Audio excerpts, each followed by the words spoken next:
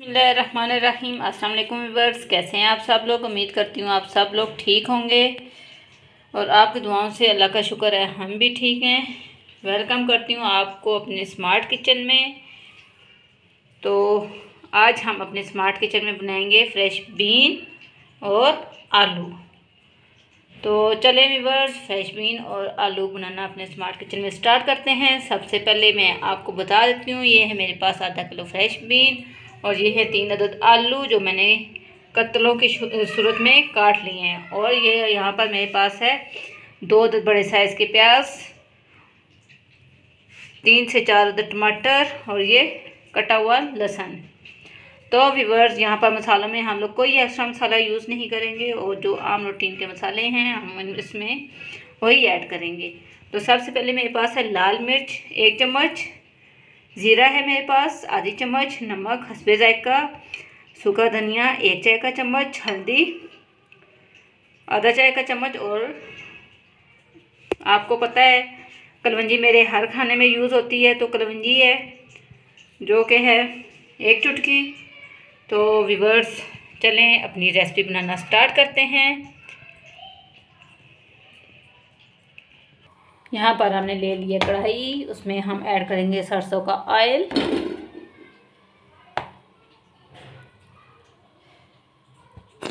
Reverse fresh been में हम मसालों का इस्तेमाल सही करके करेंगे, क्योंकि फ्रेश बीन में मसाले सही इस्तेमाल होते हैं, तब भी इसका टेस्ट अच्छा आता है। तो चले विवर्स ये तकरीबन एक से डेढ़ चम्मच, चमचा हमारे पास ऑयल है। तो ये जब गर्म हो जाता है तो हम इसमें ऐड करेंगे प्याज।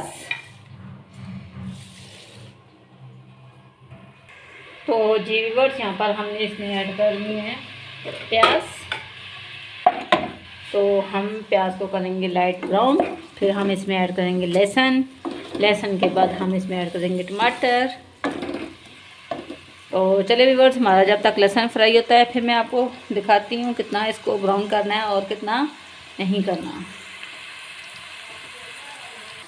तो जी वर्स ये देखें। हमारा प्याज ब्राउन हो रहा है और अब हम इसमें साथ ही ऐड कर देंगे। लहसुन तो जब फिर हम लहसुन को इतना फ्राई करेंगे कि ये हमारा लहसुन और प्याज दोनों ब्राउन हो जाएँ।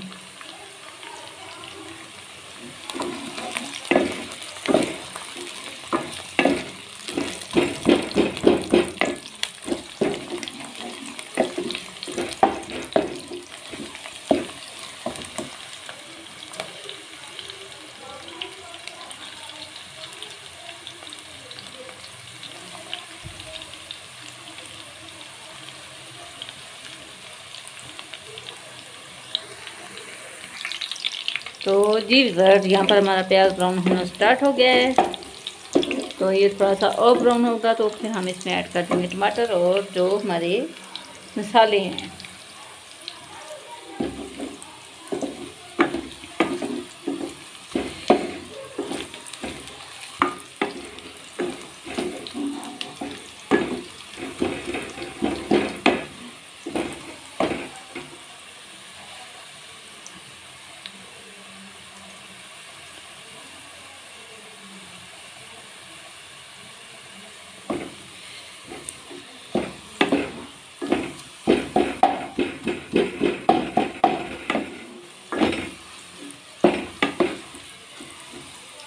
तो जी वीवर्स यहाँ पर हमारा प्याज ब्राउन हो चुका है। अब हम इसमें ऐड करेंगे टमाटर और मसाले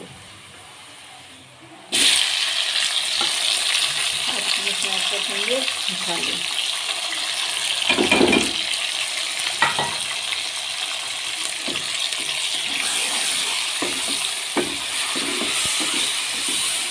और अब हम इस मसाले को और टमाटरों को अच्छे से गला लेंगे।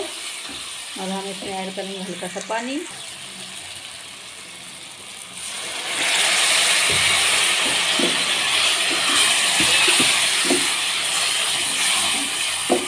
तो यहाँ पर हम इसको दो से तीन मिनट के लिए दम पे लगाएँगे ताकि ये हमारे टमाटर अच्छे से गल जाएँ।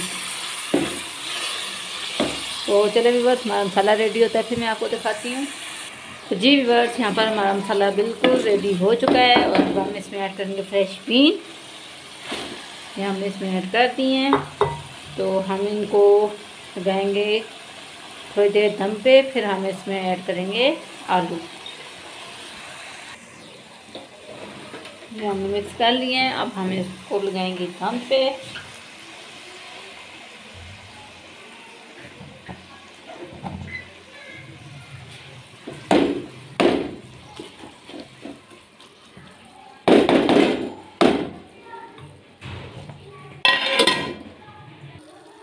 तो जी व्यूवर्स अब हम ऐड करेंगे फ्रेश बीन में आलू।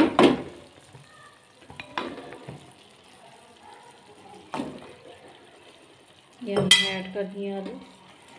तो हम इनमें हल्का सा पानी ऐड करके फिर हम इनको रखेंगे पंद्रह से बीस मिनट के लिए दम पे ताकि हमारी फ्रेश बीन भी अच्छे से गल जाए और आलू भी गल जाए। तो जब ये हमारी अंडी तैयार हो जाती है, फिर मैं आपको दिखाती हूँ। ये हमने नालू और फ्रेश में पानी ऐड कर दिया है। तो इनको लगाएँगे दम पे।